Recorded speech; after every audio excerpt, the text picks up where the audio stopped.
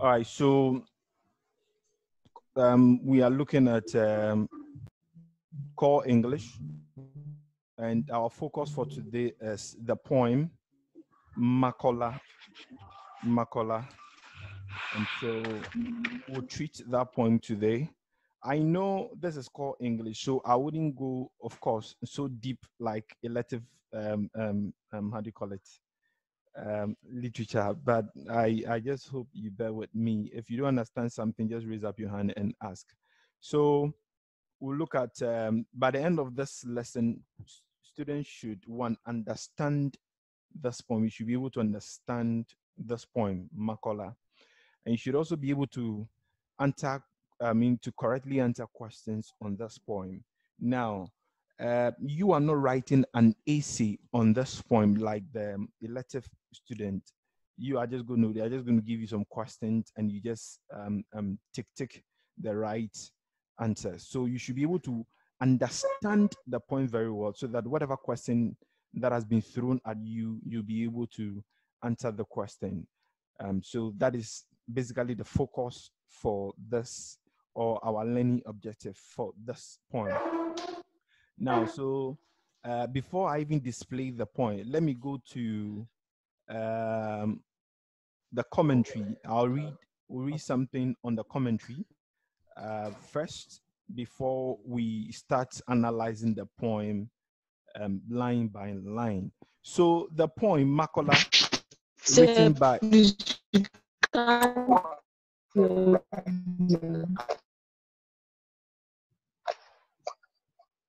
Hello.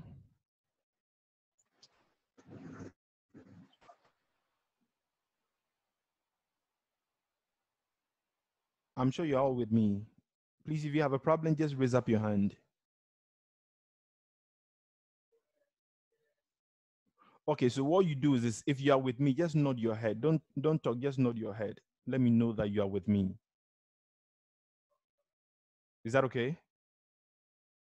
Good. Good, good. Okay. Um, I see somebody raising up the hand. William.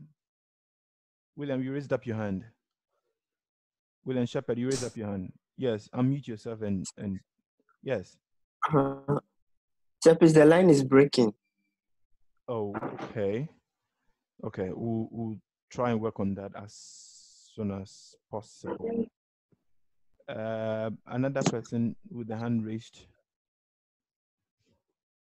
Akitipel. Okay, you've taken off. Please, I didn't what you said. You want to what? Akitipel.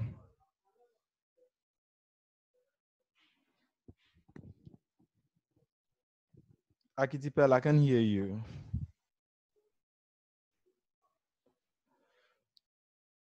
Okay, so let's quickly go to um, the commentary.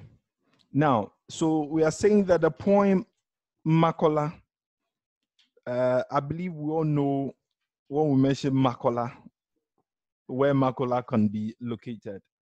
Uh, Makola is one of the biggest markets uh, in Accra. When you go to Accra, you say you are going to Makola, everybody virtually knows where Makola is, and we know what goes on there. Now, so it says the point in Makola is not so much about the market as a place, as the people who work in the market. So Enin uses, Enin is the writer of the, uh, of the poem, who we could also refer to as the poet. Enin is, is the poet. So Enin uses the market as a magnet to draw the people to a location where it becomes possible to observe them and exploit their emotions and their socio-economic condition.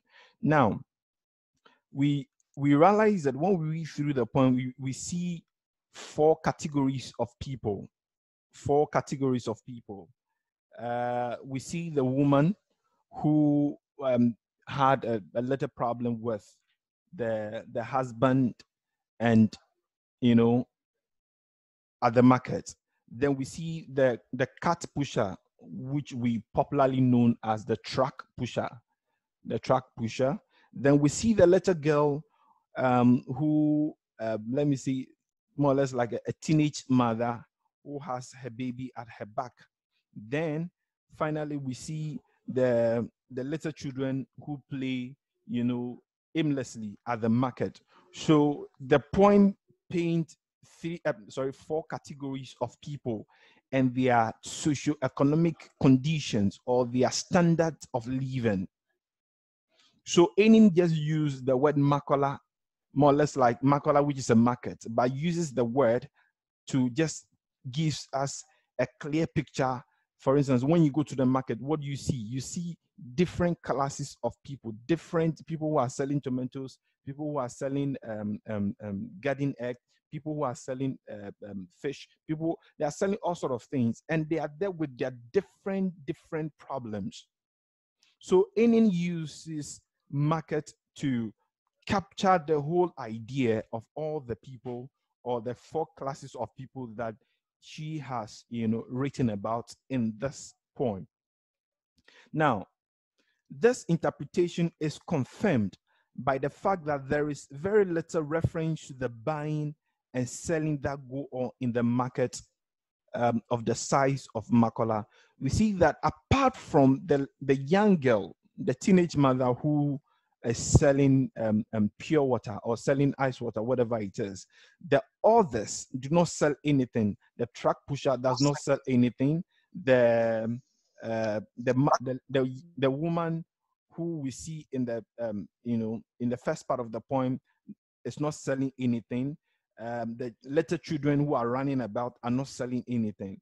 Now we we know that market is a place for selling and buying, but we look at all these four categories of people that the poet captures in her poem, then we realize that only one out of the four is actually selling. So we are saying that any the the any using Makola as a marketplace is not necessarily as a place where the people are buying and selling, but it's just to you know, um, um, you know, show the classes of people that we have and what they are going through. Now, so the only reference to a commodity is to sachet water, which is introduced more as an emblem of poverty and lack of social, socio-economic power rather than a hot item of high economic value high economic value. Now, in comparison, there's much more said about the people in the poem. So, like I said earlier, there's much more said about the people in the poem than the, the, the, the selling and the buying that we know when it comes to market. If you look at the four classes of people, there is much more uh, about that has been said about the people. There's much more that has been said about the, the socioeconomic condition or the, the, the social status of the people or their current um, um, state of living than what do we actually know in the market setting. Now, it says it includes men like the domineering husband that we, we see about the woman then we see the driver's mate and the cart pusher. The cart pusher, like I said earlier, also known as the truck pusher. Now, each of these people is aggressive in their own way, but it's not above vulnerability and exploitation, just like the women in the poem. Now, this group is made up of an anonymous housewife who has a very little say or power in the home. Now, so that talks about the domineering husband. The woman is, you know, when we say anonymous, someone who is not known. The woman um, is sitting aloof, you know, lost in her thoughts and thinking about all the things that are going on and how her husband is, is not, you know, or the husband does not really understand her plight, her condition or in other words the domineering you know attitude of her husband. Now so let me go back to that again. This group is made up of an anonymous housewife who has a very little say or power in the home.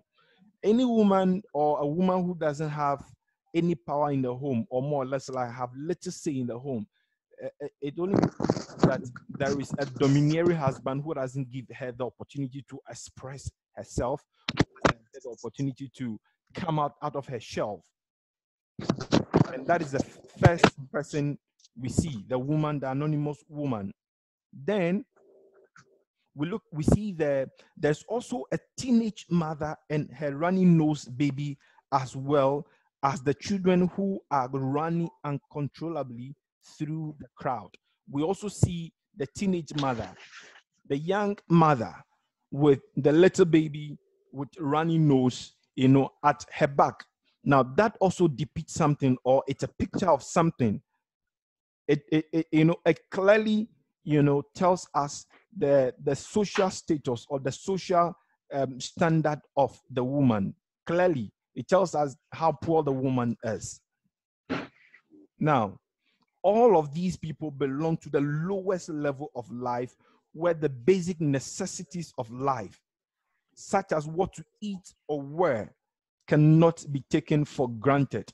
We see, we see the, the teenage mother, and we see that according to the poem, she has an old tattered ATL cloth, you know, that she has used to, to hold her baby at the back.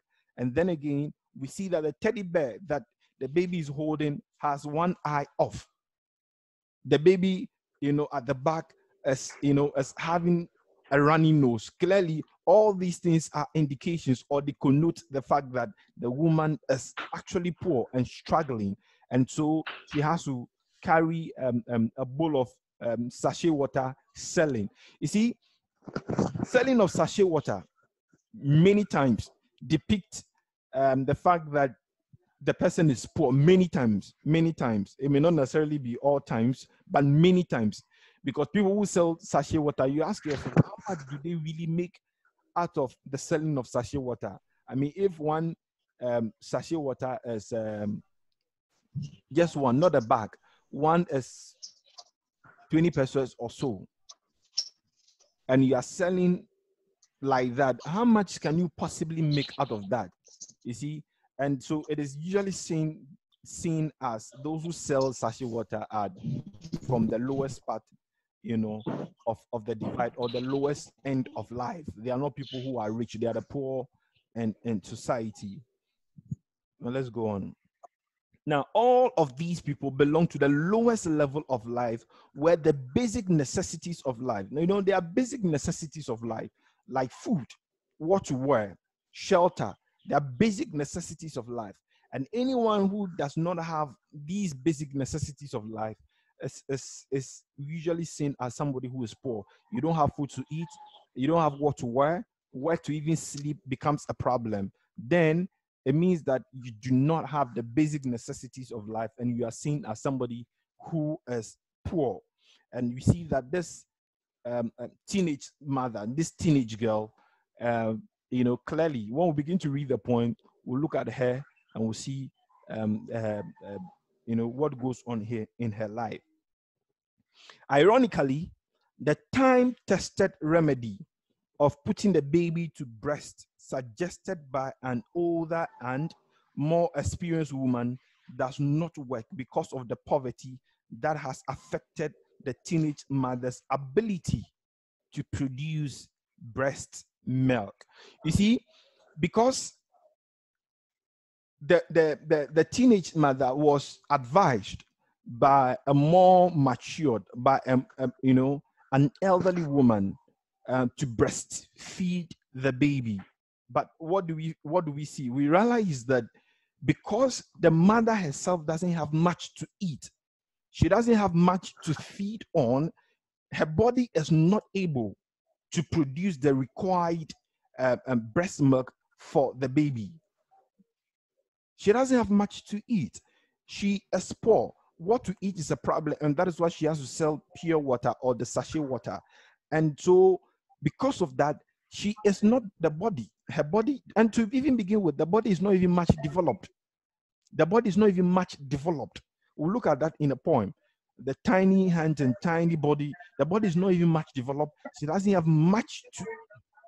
And so, because of that, the body is not able to produce the required breast milk for the baby to eat. And so, you know, the baby cries and she doesn't know what to give to the baby. Now, so in fact, Makola is a brief sketch of the big city in which it is situated. So we realize that the Makola has just been used as um, as as a vehicle or as a tool to convey, you know, the the standards of the lives of the people, or the standards of the life of the people. So, um, like I was saying, Makola, as um, the term used, is just um, more or less like a tool or a vehicle to convey, you know, the various classes of people we find in the society, especially when you go to um, a typical market. So basically, that is that is the commentary. That is the commentary on the poem. Now we'll begin to look at um, stanza by stanza uh, analysis of the poem. Now, in the first, from the beginning, it says, head bent, rags all around the upside down pan, picking her nose, shuffling her feet, oblivious to the bustle and the cause of the driver's mate. Head bent. You see, um, the use of the word head bent, uh, just to, you know, it's a pose of a deep thought and defeat. You, your head is bent and you are obviously carried away by your thought, carried away by the things that are happening around you, carried away by, you know, the perhaps the situations of life, the conditions of life, the things you are facing.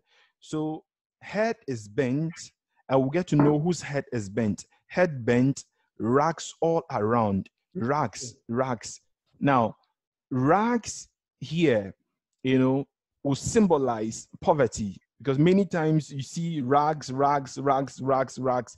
It depicts an idea that where you are, you know, it's it's really not um, a, a rich home.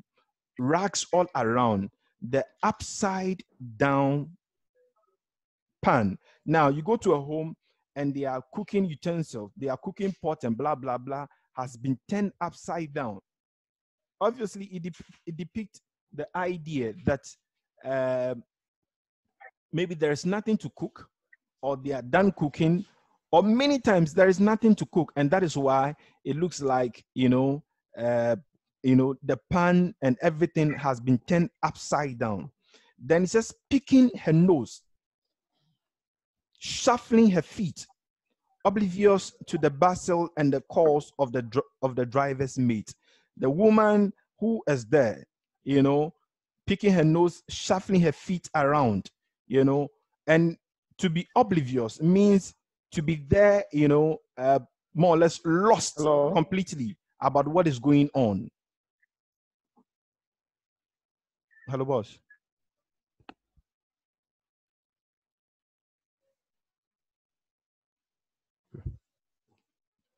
Oblivious, it means not noticing what is going on around, a sign that she is preoccupied with her own thoughts, perhaps the quarrel with her husband earlier in the day. So the woman is sitting down there, oblivious of the things that, that are going on around her, which means that not noticing the things or not realizing the things that are going on around her. Then the poem goes on and says, This morning she quarreled with the husband. So we get to have an idea about the reason why she was oblivious of the things that are run, that are going on around her. And it could be the reason that because she quarreled with the husband that morning. And she was one, wondering why wouldn't he understand that her work is very tedious and involving? The woman was wondering why wouldn't my husband understand the fact that, hey, the work I am doing is very tedious and involving? Why must it all be on his terms, at his convenience?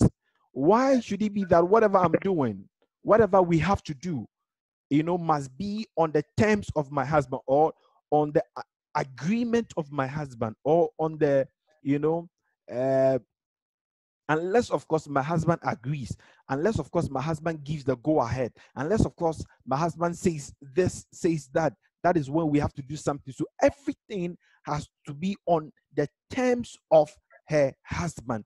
At his convenience whenever he feels like not when the woman feels like not when both of them sit together and discuss when they should do it but on the terms of the husband on the convenience of the husband. Now clearly you understand that what is happening here is that the the the the in the home the man dominates the home. The man is so domineering so you know the head so much the head that the woman has no say.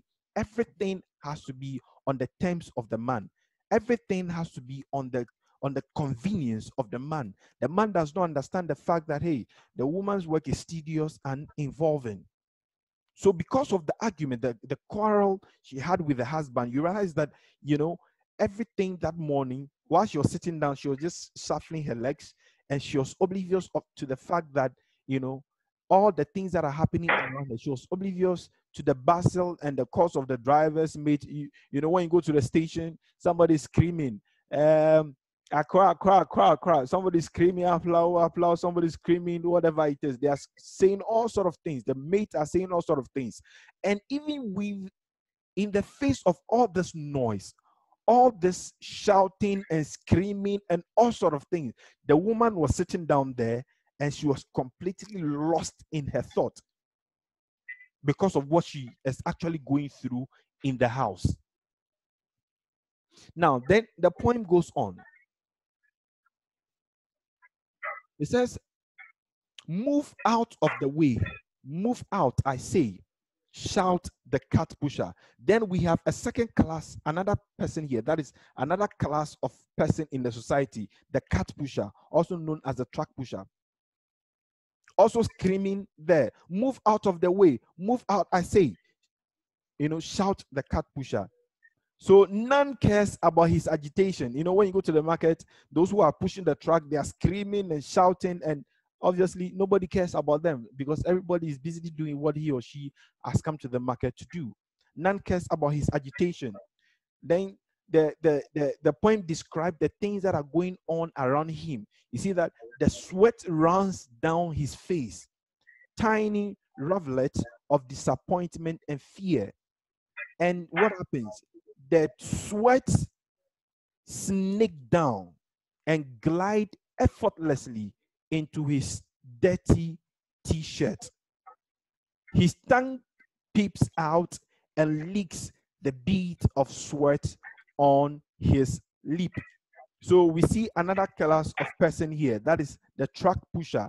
And the poem says that, you know, because of the work he was doing, sweat, you know, began to pour on him. And what happened? The sweat is, you know, moving down like snake. Snake, it says the, the poem snake down. Sorry, the sweat. So the persona uses a literary device that is a metaphor, compares sweat to snake. That the, the, the sweat snake down and glide effortlessly. You know, a snake glides. The way the snake glides you know moves around. Glides effortlessly effortlessly. That is the same way the sweat that are pouring on him you know are gliding effortlessly into his dirty t-shirt now if you look at the word dirty t-shirt it also paints a picture here that the cart pusher is also poor or from the poor side of life his tongue peeps out now under normal circumstance, if you are sweating, you should use a handkerchief and wipe your face. But because he doesn't have a handkerchief, he, he you know, he uses his tongue to to lick the sweat on his lip. Clearly, it paints a picture of you know a poverty reading person. Then it, it goes on. It goes on to the next, it says, that young girl with the thin arms, thin arms, young girl gives us an idea that the girl may be a teenager with thin arms, young girl with thin arms gives us a clear idea that the girl here it's it's it's depicting a teenager with thin arms balances a bowl of sachet water on her head. Selling sachet water. The running nose baby at her back is supported with a faded ATL cloth. So the young girl or the young girl with tiny arms is just not carrying a bowl of sachet water on her head, but we also realize that at her back is a baby that is that is having a runny nose, a runny nose baby at her back, and is supported by um, supported with a faded ATL cloth. Now, you see, we have different types of cloth. We have the ATL, we have the the the Hol- Holland or what some refer to as Hollandis. We have the uh, GT. GTP and so on and so forth. You see, GTP is expensive, or GTP is seen as you know for the rich, the Hollandis also for the rich.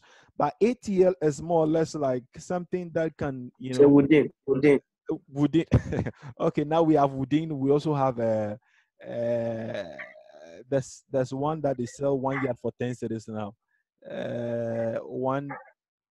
I've forgotten the name. What is the name of the the name? What's the name?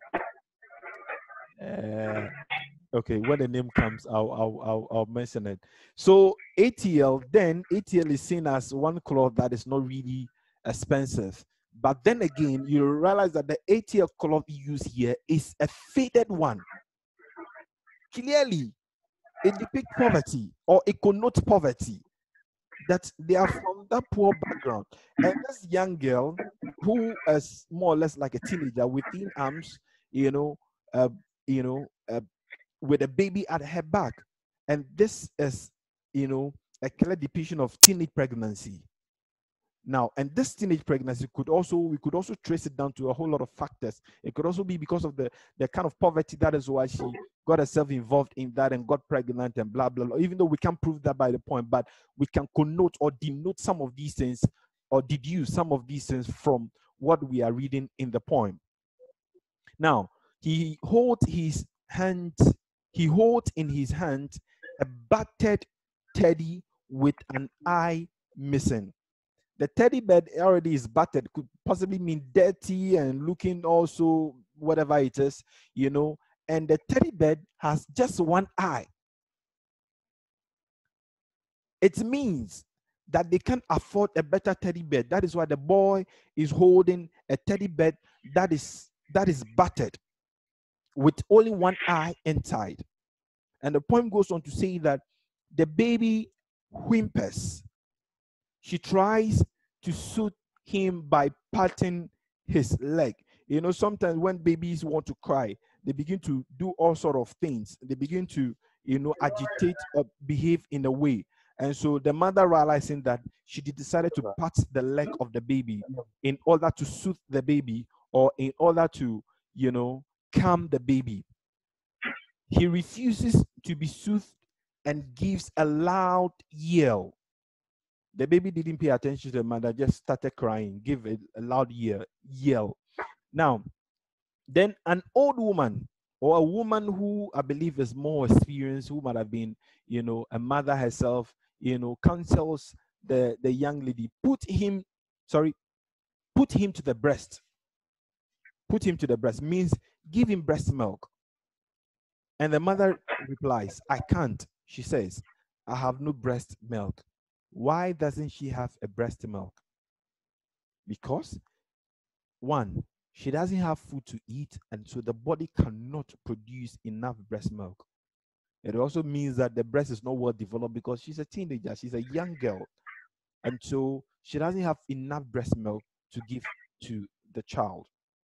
Then the poem shift again to children, you know, who run in and out of the stalls followed by shout of the storekeepers. We have children who are running, you know, here and there, you know, without paying attention to what the storekeeper is saying.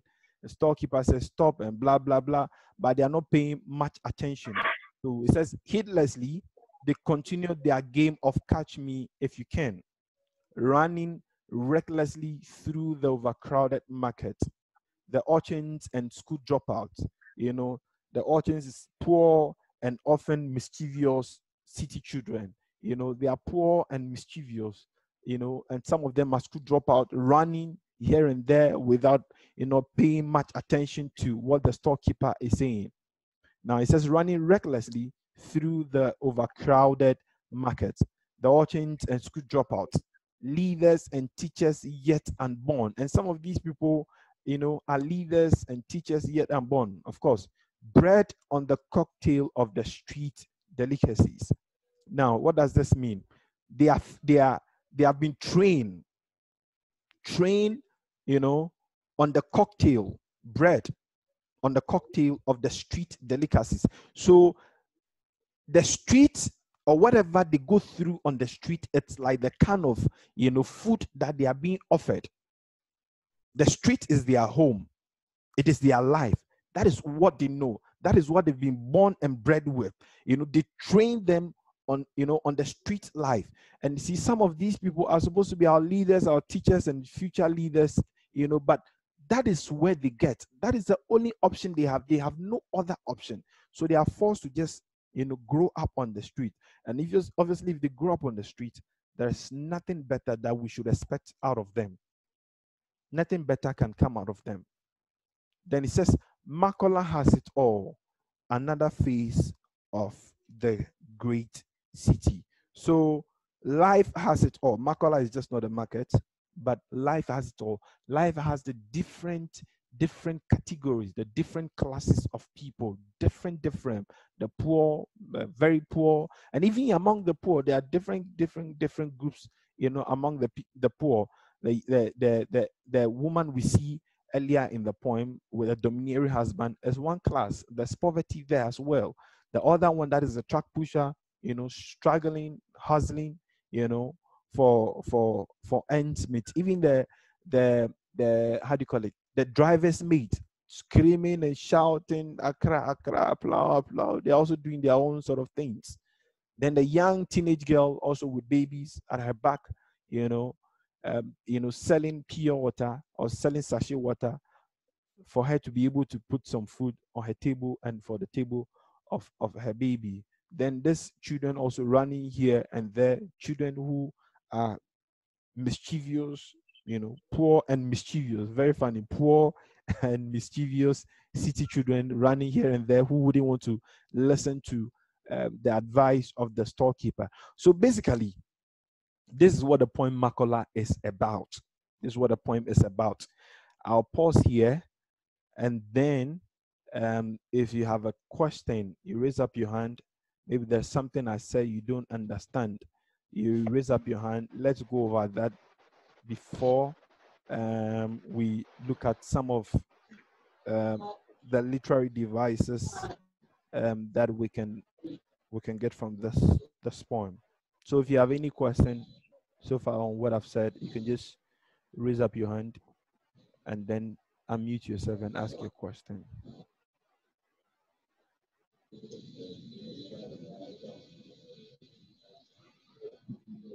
Yes.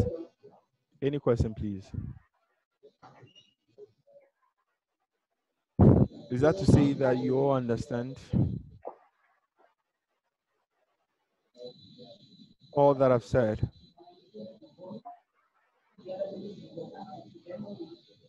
Yes, any question? Yola, any question? William? Any question? Maybe there's a part of the poem you don't understand.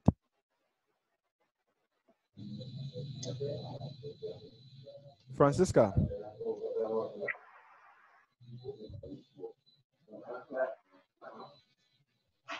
Sir, Yes. Uh, whose hand is up? whose hand whose hand is up? Whose hand is up? Who wants to ask a question?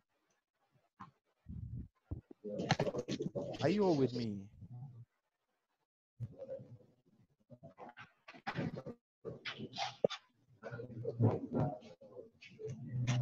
Marceline, do you have any question? Okay, Sheena wants to ask. Yes, Sheena. Yes, unmute yourself and ask your question.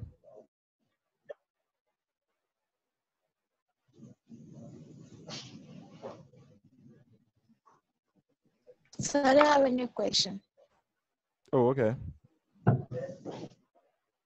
So are we just saying that we understand the poem, we can move on? Yes.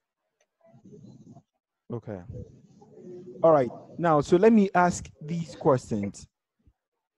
Now, you are going to go through the poem. The poem is displayed on your screen. Uh, we'll go through the poem. And if you have any literary device,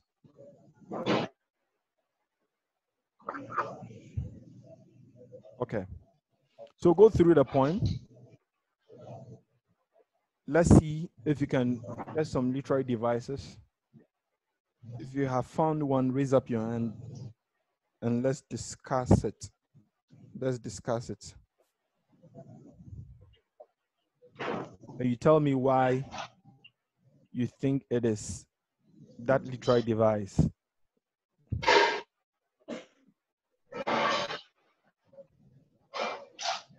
Yes. Any literary device? At least we should know some of the Yeah. simple. Yes, yes, William. So please, uh, we can find metaphor. Okay, This Where? metaphor in line 12. line 12. Yeah. The sweat that runs down his face. Okay. Why, why, Yes. okay, first and foremost, define what metaphor is. Define what metaphor is. And why do you think that line, we can find metaphor in that line?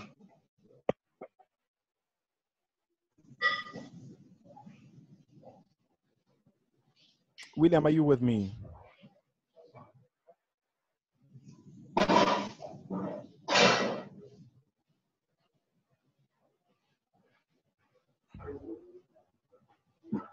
Yes.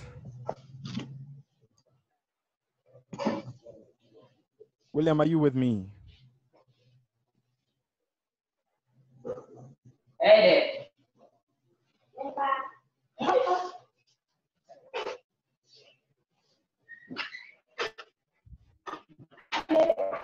Hello, William. William.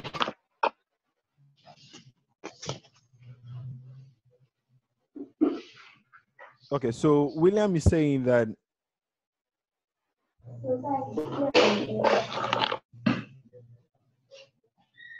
William.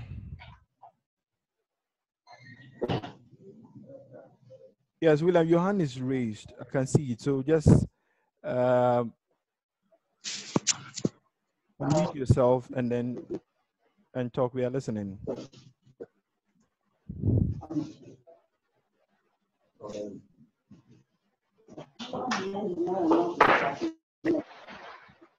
Sir, Yes, I'm listening, William. sir, please, metaphor Okay. It's so- a figure of, okay. Yes, go on. sir, metaphor is a figure of speech which is applied to an object to which is not literal, literally applicable. Hmm. Can, can, can you repeat yourself? Uh, let me get that clear. So, it, so I'm saying that metaphor is a figure of speech in which a word is applied to an object or an action to which is not literally applicable. Okay, William, let's let's do with this. Um, let me just make it very simple for you. Okay. Now, metaphor is okay. Before I give what I want to give, uh, I want to find out if anybody has any other definition If anybody has any definition about metaphor. about metaphor. Any other um, Any idea other um, on what metaphor is? on what metaphor is? Yes. Yes. Yes, Marceline. Marceline, Just unmute yourself and then. just um, unmute yourself and then um, um, just metaphor is about. Oh, sir, Sir, Um, William, please hold on. Uh, Marceline is on. Uh, is- is William, online. please hold on. Yes. Yes, Marceline, let's hear you. okay, sir.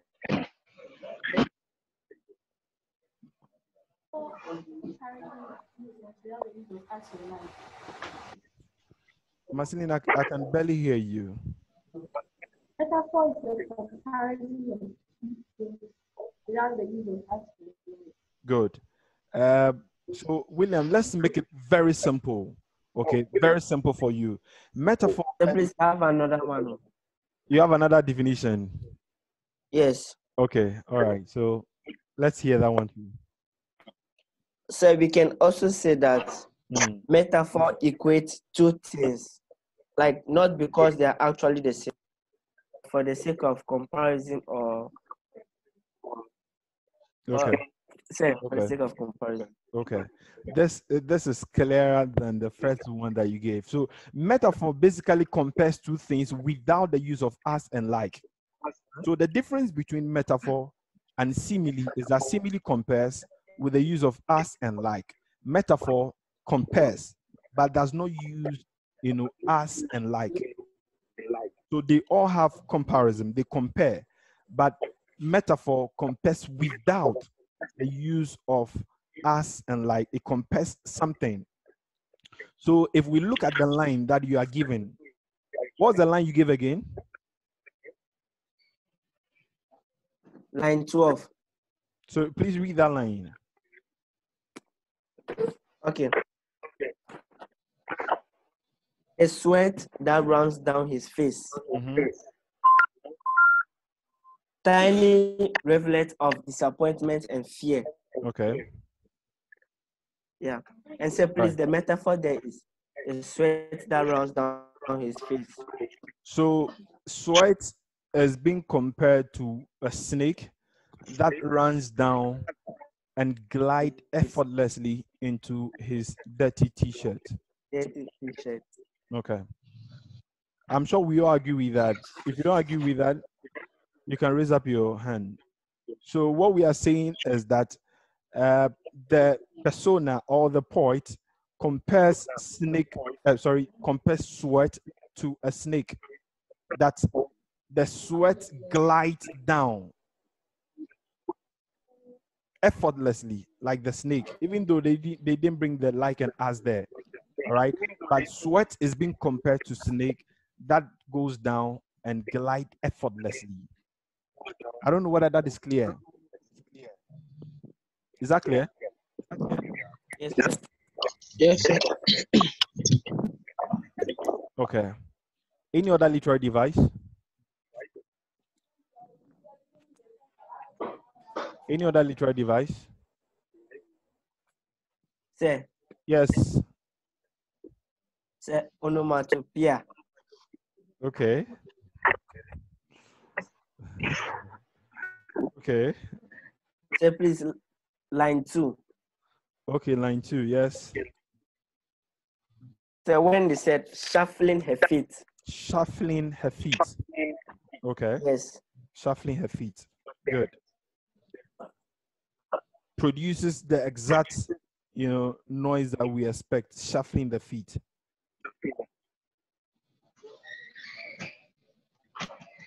Yes.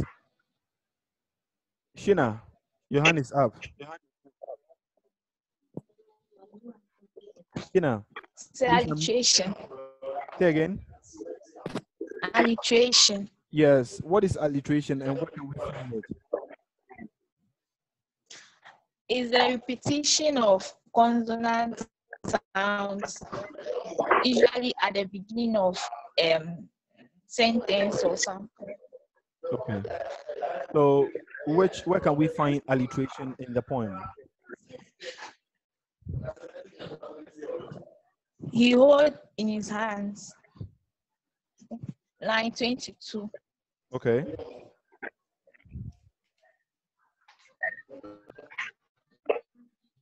Line 22. Yes. Repeat the line. He hold his hands. A battered teddy. He holds in his hand a battered teddy. Now, you see, you should understand that alliteration is the repetition of, of what vowel sound, right? Is that right? Yes, sir. Not just the vowel, but the sound. No, say, say, Say again. say, please. It's consonant sound. Consonant alliteration. rather, alliteration. Now, but my my what I want you to understand is that we are, you know, when it comes to alliteration, we are looking at um, sound, the use of the same consonant, you know, sound. So our focus is actually on the sound.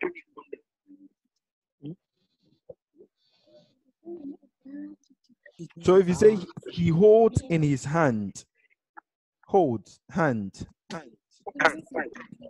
in a battered teddy. He holds in his in his hands a battered teddy. Do you do we all agree with that? Uh-huh. Listen.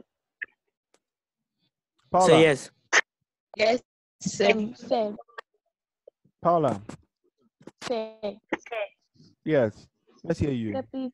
I I think that if it should be correct, then she should just end as hands, so that it becomes he holds in his hands instead of adding the battered teddy.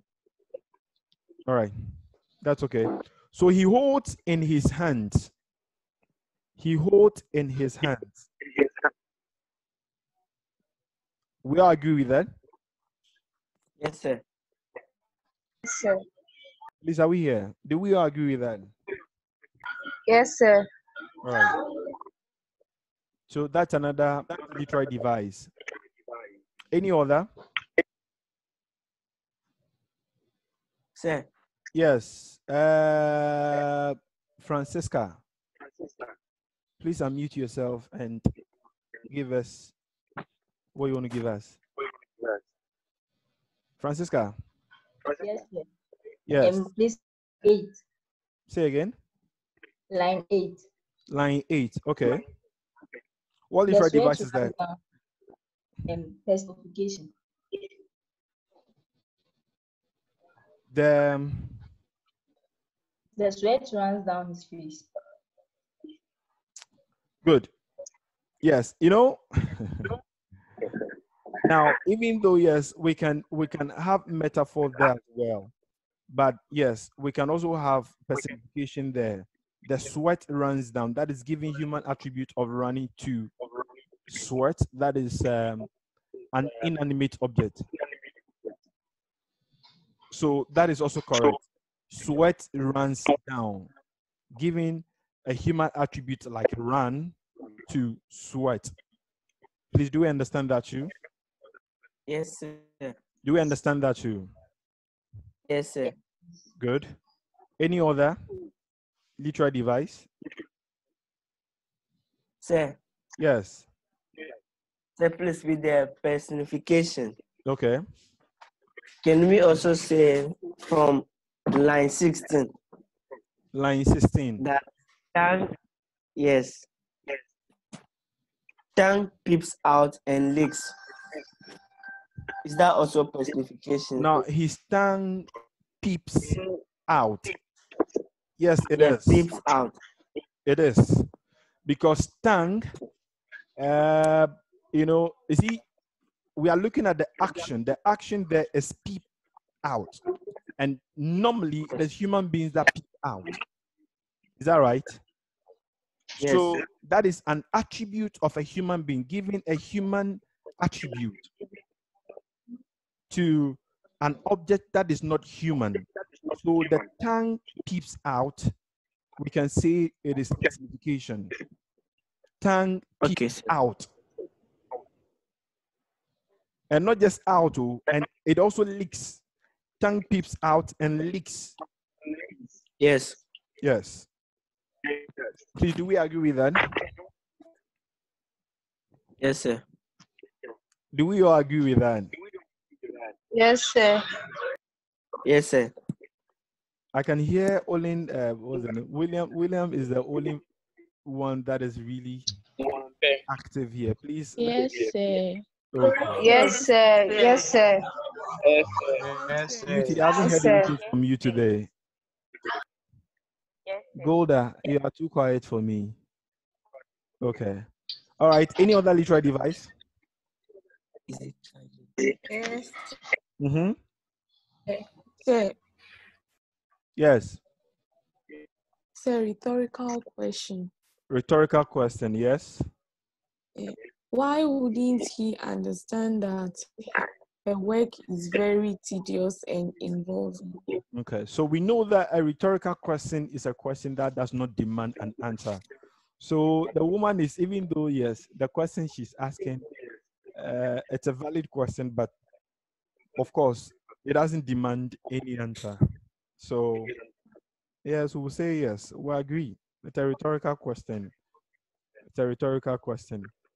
Any other literary device? Uh, sir, dirty t-shirt. Dirty t-shirt. Yes, what Yeah, imagery. Imagery. Yes. Dirty t-shirt. yes. Imagery. Mm, Okay. Okay.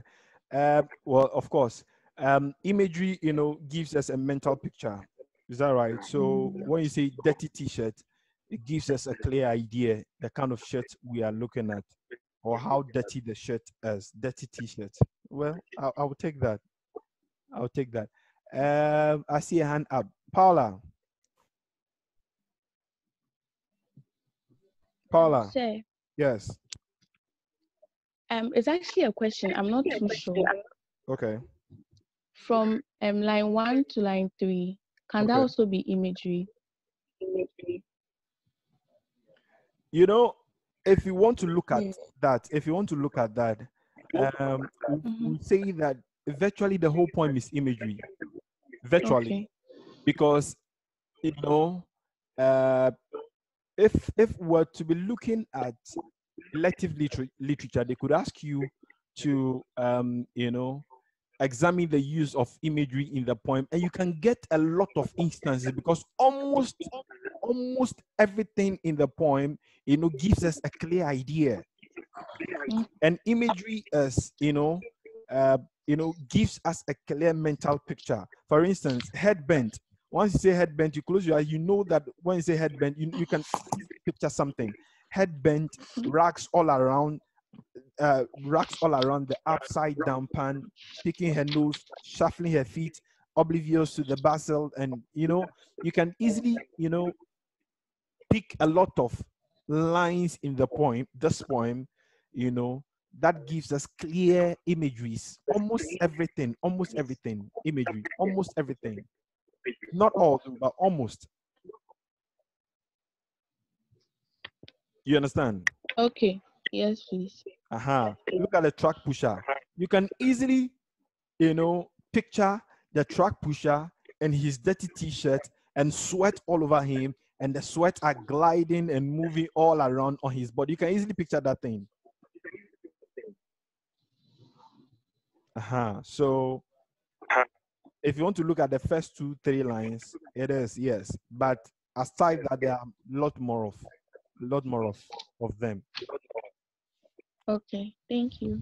You're welcome. Any other question, please? Or any literary device? If you have any, just raise up your hand.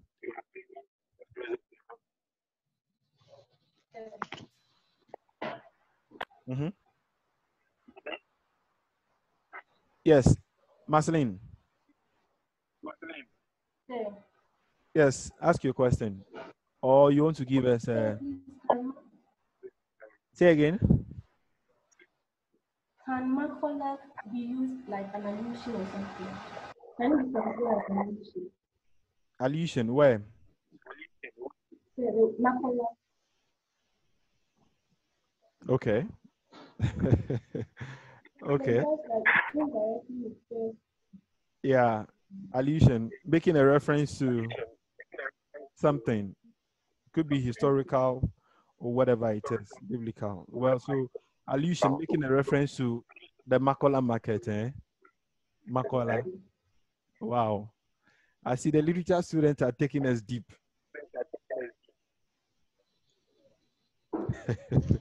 okay. Uh, this one, I'm I'm sure the the call maths people, uh, I mean the call people, it may be too much for them. But in as much as you're right, it may be too much for them. So, uh, all right, let's go on. Yes, Tiola. Say, Yes, please ask your question or say what you want to say. um, say, Yes, uh, alliteration, alliteration. mm, Okay. running recklessly, Running recklessly, yes.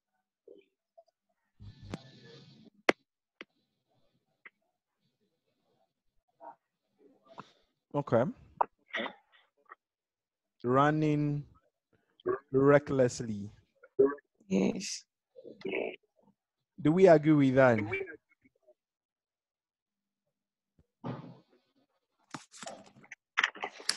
Yes, I agree with you. Running recklessly. Is there any objection to that? Any objection to that? Running recklessly.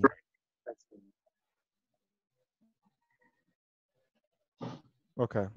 So we agree to that. Sheila, your hand is still up. Solution. Your hand is still up. So you can just lower your hand. Yeah. Okay. Michael, yes. allusion. Allusion, where? Um, it's with a faded ATL cloth. Okay. And like it's a reference to the textiles in Ghana. Okay, that's okay.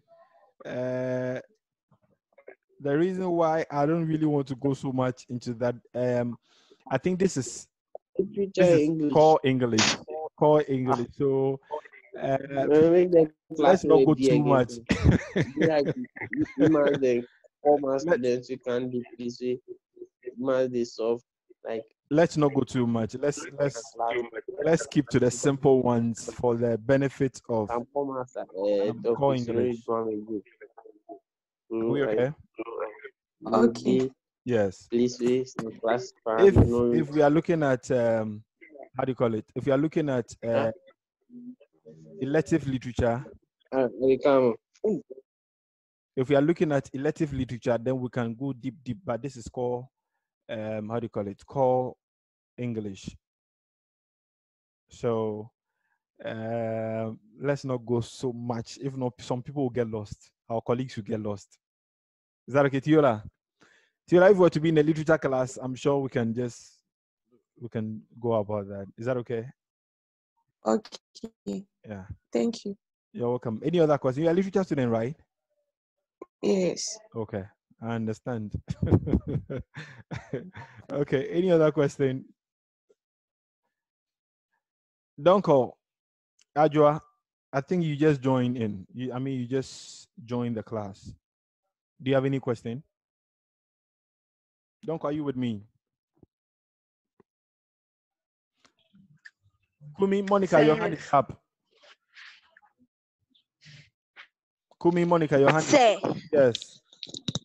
sir, please, I would like to ask from the first line. Okay. It said head bent and rags all around the upside down. Mm-hmm. Can't it be that the woman Let's say she's a karai and her pan is down because she not get any customer that morning. Good. That's, that's, that's a very good question. Yeah. A very good one.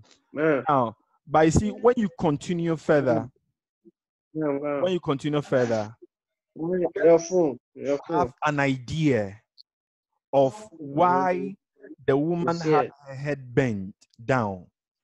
Another five Is minutes. that okay? When we continue, we get to know why the woman had her head bent down. And we get to know it was because of what went she went through in the Where's my earring? Is that okay?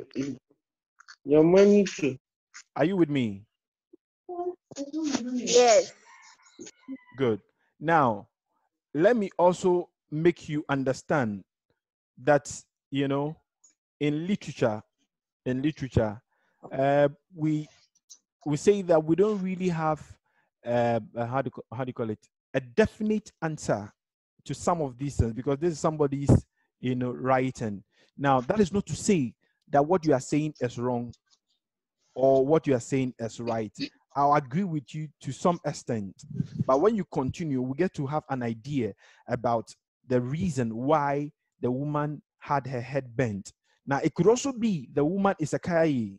No two ways about that. It could also be that is why her head is bent, racks all around, the upside down pan, picking her nose, shuffling her feet, oblivious to the bustles and the cause of the driver's mate. Yes, so to some extent, yes, of course, I'll agree with you that the woman could be a kaya, and that is why maybe she doesn't have anything doing at that moment, and so she was actually thinking about what she's been through in the house that morning. You know, the argument or the quarrel she had with the husband, and so she's lost in her thought, and so that is why. So yes, of course, I agree with you as well on that. There's no way I can say no. I agree with you. There's literature for you. Are you with me? Yes. Do you understand my point? Yes, sir. Good. So yes, I can. I, like I said, I agree with you. Not that I can. I agree with you that yes, the woman possibly could also be a kaya, and so her pan is there. But also, we could have a you know an idea of a home where there's nothing to cook, there's nothing to prepare. We could also have an idea, you know, where the the, the pans or whatever it is, the cooking utensils or whatever it is, are all turned upside down. You know, it could also mean that it could also mean you know it's a kaya. But I see your your the advantage you have in core literature is that you don't really write essays. All you do is for you to understand and pick the right answers. Paula, I think I see your hand up. Okay, time close. Shelga. Shelga, your hand is up. Um, yes. Ask your question.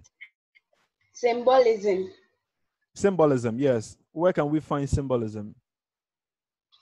Faded ATL cloth. Line 20, faded ATL cloth. Faded ATL cloth. Yes. What does it symbolize?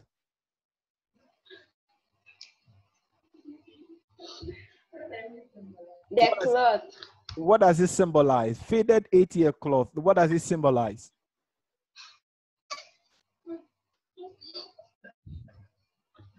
What does it symbolize? Do you understand the point I'm asking? The question I'm asking. What does it symbolize? Faded ATL cloth. What does it symbolize? The cloth. How the cloth is. Okay. Uh, I would say it symbolizes poverty. I am. it symbolizes poverty. Faded ATL cloth, you know, it depicts something or symbolizes something. It's just not the faded cloth, but there's something beyond, you know, it, it symbolizes poverty. Okay. Yes.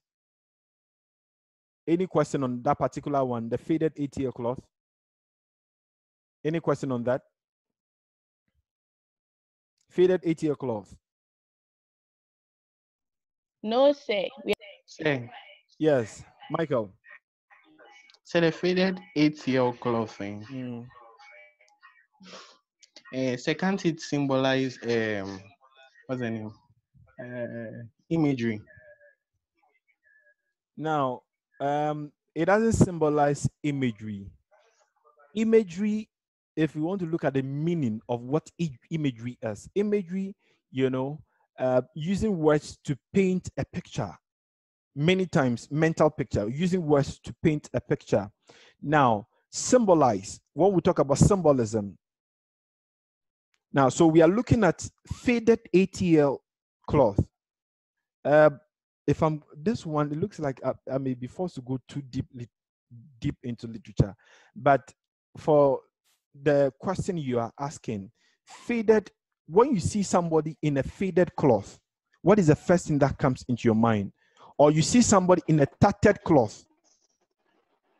Now, so we use the word tattered cloth. Now, when we use the word tattered cloth, in your mind or the imagery it gives you is that the thing is torn. But then, if you look at it, it symbolizes something. It could symbolize poverty. It symbolizes poverty in that because the person doesn't have, person doesn't have. Yeah, so the person continues to wear something which is, you know, which is tattered, which is torn. So the faded ATL cloth is because the young girl doesn't have. So she continues using the same thing over and over and over again. And so it is now faded. You understand? If you have many cloths, we have over 10, 20 cloths, you'll be using different, different ones. So it is difficult for the cloth to begin to fade just like that. But if you continue using the same thing over and over and over and over again, what happens? It fades out. And why do you use it over and over again? You use it over and over again because of poverty, because you don't have any. So it faded ATL cloth, we can see that it is what? It's a symbol symbolism. It symbolizes poverty.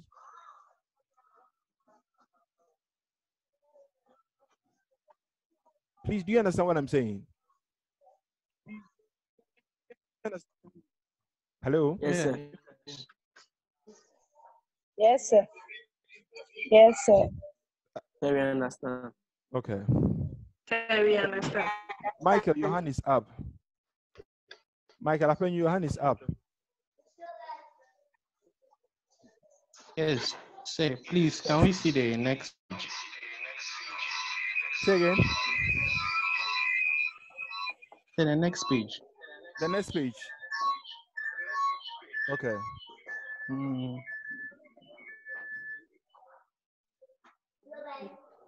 So this is the next. Okay, this is the next page, and so this is it. Now, quickly, for the sake of time, let me just quickly go. This is the commentary. We've done this earlier, and um, so we have some trial questions. We'll go through the questions, and then we'll, we'll, we'll look for the answers. Now, can one of you read the question for us? Any of you can just read a question for us. But we'll look for the answers. Question one. Okay, hold on, please hold on. Before the question, do we understand the poem? Yes, sir. Please, if you don't Yes, understand yes. something, just raise up your hand. If you don't understand something, raise up your hand and let's quickly go over it. Yes, sir. We all understand. Very understand. Okay, Beauty, your hand is up. Unmute yourself and ask. Sir, Yes. sir, I had a problem with my connection, and when I came back, you guys were on the uh, literary devices, so I don't get what you guys were talking about. Okay. Uh, Beauty, what we'll do is this, let's finish up with the questions. Then I'll come back to the commentary. I'll just quickly go over the commentary again before we close. Would that be okay? Yes. Okay. Thank you. You're welcome. All right. So the questions, yes. Please read for us. Continue. Question one. What is the poem Makola about? Good. What is the poem Makola about? Um, if you have an answer, just raise up your hand. Yes, Sabaita. Sir, I think it's E. What is E? Can you read for us? Yes. Both Okay. men and women are both men and women are trying to make a living in difficult circumstances. Good. So the poem Makola is about how both men and women are trying to make a living in difficult circumstances. In difficult circumstances. You look at the cart or the, the cart uh, pusher, you look at the mate, you look at the woman in the um, in the first part of the poem, you look at the young girl um, with a baby at the back. So you see that they are all struggling to make a living in their difficult circumstances. So that is correct. Two, please read. Why is the woman oblivious to the noise around her? Okay. Yes, what is the correct answer? You know, you read, just raise up your hand. Apenyo, you raise up your hand. Yes, B. She is engrossed in her own thoughts. Good. She is engrossed in her own thoughts. And because of that,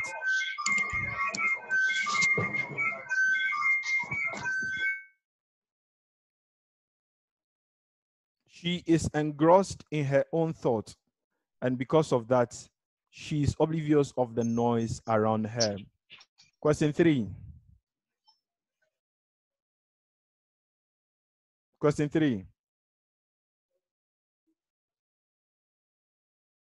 Question three. What, what is the attitude of Enin to the men in the poem? What is the attitude of Enin to the men in the poem? Yes?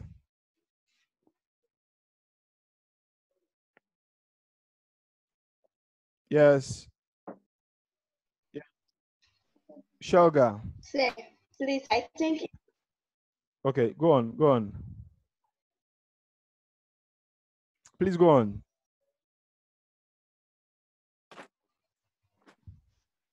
Go on. A, she thinks they are bossy. She thinks they are They are bossy. boss- Correct. Correct. Do we all agree? Mm-hmm. Yes, sir. Yes, sir. All right. Yes, sir. Question four. Question four. Maybe somebody else can read for us. What? Question four. Let somebody else read. Bokulinda, I see your hand up. Bokulinda, I see your hand up. You want to read for us?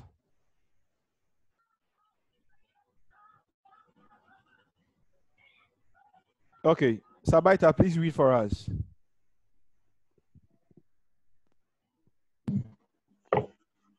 Question four. Sabaita, What is the significance of the faith? Sir, question four. Yes, question four. What is what is the significance of the faded ATL cloth used by the mother to carry the baby? Good. What is the significance? Yes. Question four. Yes, what is the correct answer? It symbolizes economic hardship. Good. Which also means that poverty. So you see what we were saying earlier. The faded ATL cloth Yes. symbolizes economic hardship. Also, we could also use the word poverty. Yes. Is that well understood? Yes. Yes, sir. Good. Question five. Question five. The word whimper, the word whimper in the poem is an example of It's an example of Yes, number five. It's an example of any hand up. Michael, Apenyu, your hand is up. Say, Yes. say si, matopoya. All right, so it's the word whimper in the poem in a, is an example of onomatopoeia. Onomatopoeia. Yes, number six.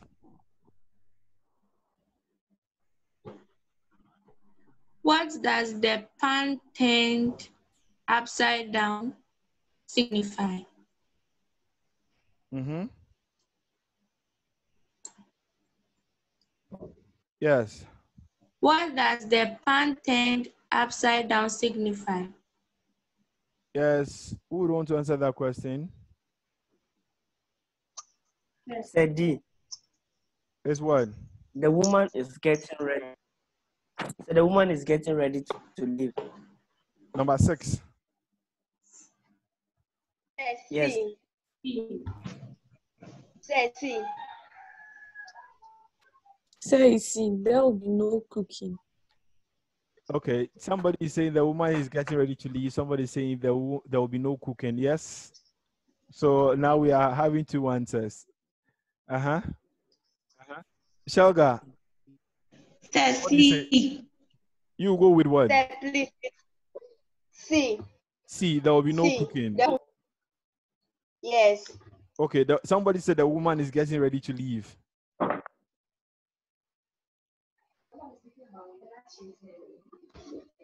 William, your hand is up. Yes. Said the woman is getting ready to leave. All right, I'll go with C. There'll be no cooking. Number six, I'll go with C. If you say the woman is getting ready to leave, what are, what what shows she's getting ready to leave? The woman is sitting down there uh, with the pan turned upside down, lost in her thought. It doesn't give any clue at all that she's getting ready to leave. You understand? It doesn't give us any clue at all that she's getting ready to leave. Or you want to explain your answer? Why you think that a woman is getting say what? Okay, go on. Okay. Then say why is the answer there will be no Say again. say why is that the answer is there will be no cooking? There will be no cooking because there is nothing to cook because of poverty. So usually, you know, there are some homes um, when they are done when they wash um, the the cooking utensils or the pans or whatever it is, they turn them upside down. They are not cooking, so they turn them upside down. Uh-huh. It doesn't it doesn't mean that she's if she's um you say that the woman is getting ready to leave, leave to where and from where? Is there any clue at all as to why the woman is getting ready to leave and to where? But we have an idea that the pan turned upside down is because there's nothing to cook. There's Mira nothing to questions cook. mungu. Megalivo. There's nothing to cook. What the? Do you understand? And yellow questions so for that.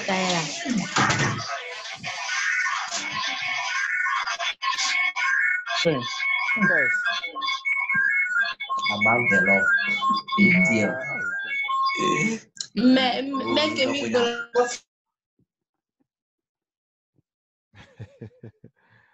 the noise is too much. I have to I have to mute all of you. So yes, uh Apenya, I think you wanted to ask a question. You can unmute yourself and ask your question. uh, Yes, said, yes. please, if there's nothing to cooking, then why did she go? Why did she go to the market? Why did she go home? Now, let me get your question clearly. Michael, No, sir. I mean, why did she go? Say you said uh, there's nothing. Okay. Mm, So you said there's nothing to cook. So why then did she go to the market? why then did she go to the market?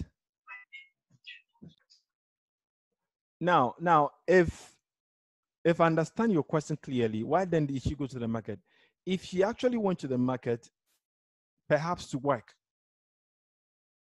Now, and like I said earlier, that the use of the word makola does not necessarily mean that uh, you know they are all in the market buying and selling. It does not necessarily mean that. The use of the word makola is just you know a vehicle or a tool to convey you know the the you know the standard or the economic um, um, hardship of situation or conditions of these kinds of people that have been you know um, talked about in the poem. And somebody asked could it not be that the woman is a kayaye and i said earlier that yes it is possible. It is possible that she's a kayaye it is also possible. Now, but the question is if the woman is a kayaye and she wants to go home, is there any clue in the poem to show that she's a kayaye? And he said the woman is getting ready to leave. To leave to where? But my understanding is this. My understanding is this that in the poem we get to know that it's because there is nothing to cook. So all the pans and all the things have been turned upside down because there is nothing to cook. That is my understanding. So the, the question says, what does the pan turn upside down signify? It signifies that there will be no cooking. Why? Because there is nothing to cook. But if you say it's because the woman is getting ready to leave, getting ready to leave to where? That is what I don't understand. If you can, if you can prove to me that the woman has a place to go to, or based on whatever is, it is that is going on, then yes, we can look at that. But for me, if you ask me, with my understanding of the poem and the analysis we've given so far, it means that there will be nothing to cook because there is nothing to cook. There is no food. So the pans have been turned upside down. Sir, Yes. sir, please, see, eh, Okay. to my understanding, Hmm. the woman, she went to the market to work. Okay. And now that she's not getting any job or she's not doing anything, she has turned the pan upside down and Mhm. she's ready to go home. Also, we don't cook in a pan, we Mhm. cook in a pot. Mm-hmm. Uh-huh. So say that's what so that's my understanding. So me, I think the answer is D. The woman is getting ready to leave. Now, okay. Now, so I, I understand your point, and and you you you you said something which is which is very very interesting. That we don't cook in the pan, we cook in the pot. Very well understood, and I agree with you perfectly. But you see, the question is, does that mean that once the pan is turned upside down, it means the woman is ready to leave? So maybe she's not getting Okay. Now the pan turned upside down. so down. maybe she's not getting any work to do and that she's tired. Okay. Okay. So the pan being turned upside down could also mean that she's tired and she wants to rest. How about that? Yeah. Uh-huh. How about that? So it can be. Say. Yes. Now the woman is in the market. Okay. They're saying that there, there will be no cooking. Say. Okay. Uh, William, let me come to you. I think somebody's asking a question. Is it beauty or who? Yes, beauty. So what I think is that you see at the end, at the starting of the poem, they said head bent, rags all around. I think that the woman went to the market, and because she didn't get any work, So I agree with uh, she William didn't. too. Uh-huh. Agree with me too. Say, I agree with uh, Yeah, I agree with William. Okay. So what we are going to do is this. Let's let's let's say, say, say, yes. and I'm saying, say, yes. say. Yes, I'm listening. Yes, I'm listening. Please talk. Say, please, I also agree with Williams because I mean, I also agree with Um, I said I agree with William said because then she's a Kayayo. So maybe they are referring to the Kayayo bowl. Now, um, um, okay, fine. Like I said, now I, I will not, I will not disagree with you. But my point is, does does it mean that once the pan has been turned upside down, it means that the woman is getting ready to leave? It could mean many things. That once the pan is turned upside down, it could also mean that the woman is trying to rest. Because it could also, could, okay, could it also mean that the woman is trying to rest? Mm-hmm. It could Say mean that. yes. Yes.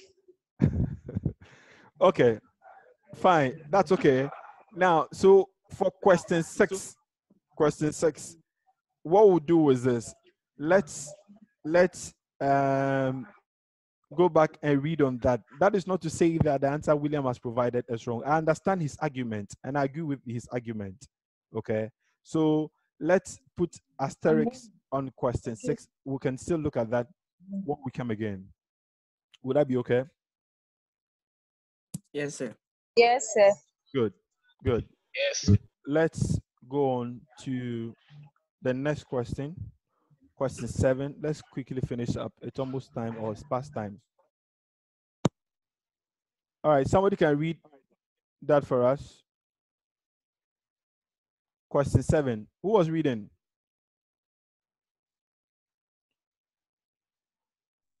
Who was reading? Sawaita, read. Quote one piece of evidence to support the claim that the girl is not ready to be a mother. All right. So it's a quote one piece of evidence. Yes. Question seven. Oh, but quote one. Yeah, but they made quote one. it's okay. Quote one. So just quote one piece of evidence. Yes. Uh, whose hand is up? Whose hand is up? Whose hand is up? William, I see your hand up again. William. Sir, D. Yes. D. She is too small and sickly. Good. She's too small and too sickly. Obviously, it is evidence to support the fact that. hey, Simon, Ellen Koyo, according to this, all right. Let's go on. The girl is not ready to be a mother. It's it's it's. what evi- Yes, go on. Yes. what evidence what evidence is there in the poem that the women are not different from the men? Yes. Question eight. All of them are suffering. Are suffering. Good. Good. Good. Question nine. Nine, ten. The posture of the woman sitting with her head bent suggests The question nine. He's thinking hard. Question nine. Yes. Mm, I'm a little she's thinking hard. Question nine. She's thinking hard. The posture of the woman sitting with her head bent down suggests, hey, she's ready to I'm a fight. to 100%. She's thinking hard. Remember. See, she has given up. D, she is solving a problem. E, she is worried about the children. Yes? And she is thinking hard. Now look at these two answers. B. She's thinking hard. And C, she has given up. She has given up. She has given up. Now, William, William, William, where is William? William, I think. he- William, are you with me? Yes, sir. Now, what answer would you provide for question nine? I want you to provide your answer because I'll refer you to something. Question, look at question nine. Sir, she is thinking hard. She's thinking hard. Don't forget Yes. earlier you said that question six, you said that the woman is ready to to what? Getting ready to leave, right? Yes. If you think she's getting ready, you think he's she's getting ready to leave, it means that question nine, she has she's not just thinking hard, it means she has given up. That is why she's ready to leave. Mm, Have you thought about that? yes, sir. Say it's lying. Oh, He's lying. Mm, that you didn't think about that one. Yes, his answer is wrong. Oh, okay. So what is your answer? Okay, hi. What is your Hi. the postal sitting with a head bent suggests that word. Say. She's thinking hard. Hard. She's thinking hard. Um, because Mm. like in question six, there's no food, so she's thinking hard. Yeah. Hard. You see? Yeah. So you see that question six will determine the answer you give in question nine. Yes. Yes. So William is wrong. okay, let's leave it at that. Let's go to let's go to question ten. Let's leave that. Work on that. Question ten. Yes, read and let's finish it up. Let's finish it up quickly. Which of the following is a good lesson taught by the poem? Yes. Question ten. Yes. Um, Say, Mm-hmm. there are no easy solutions to life problems. There are no easy solutions to life's to life problem. problem. Good. Yes. Thank you very much, ladies and gentlemen. Gentlemen. Uh, thank you very much, ladies and gentlemen. Thank you for your time for today. Um, next week, Monday, we'll be doing something else. I'm here to decide on what we'll be doing. But next week, Wednesday, we'll be doing call literature again. So on Wednesdays, we'll be doing call literature, like I said earlier. But on um, Mondays, we'll do something else. So that it wouldn't be like every day, we, every time we meet, we are doing the same thing, the same thing. Monday, we'll do something else. But Wednesdays are um, dedicated for call literature. So go back and read your point. Let me see. Okay, let me just um, give you what we'll do next week. Next week, we'll look at um, this poem. Um, where's the poem? Lost Friends. Lost Friends. So start reading on Lost Friends. Lost Friends by Lenrie Peters. Thank you very much, ladies.